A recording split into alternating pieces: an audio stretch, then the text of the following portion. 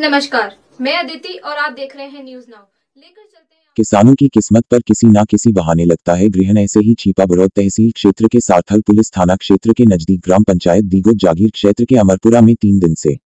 मधुमक्खियों के हमले के कारण अफिम कृषक किसानों ने जानकारी देते हुए बताया कि तीन दिन से मधुमक्खियों ने परेशान कर रखा है, जिसके कारण अफिम की फ़सल में चीरा नहीं लगा पा रहे हैं।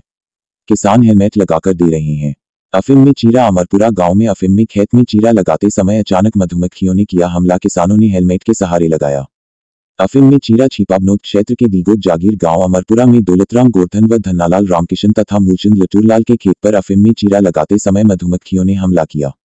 जिसमें एक दर्जन से अधिक लोगों पर हमला हुआ, जिसमें ज़्यादा घायल रामदयाल, जमनालाल कमलेश, सर्वेश कुमार, रामकल्याण कौशल्याबाई, जमनाबाई, रामबाबू लोकेश आदि के जो बाद में हेलमेट का उपयोग करके अफिम में चीरा लगाना बना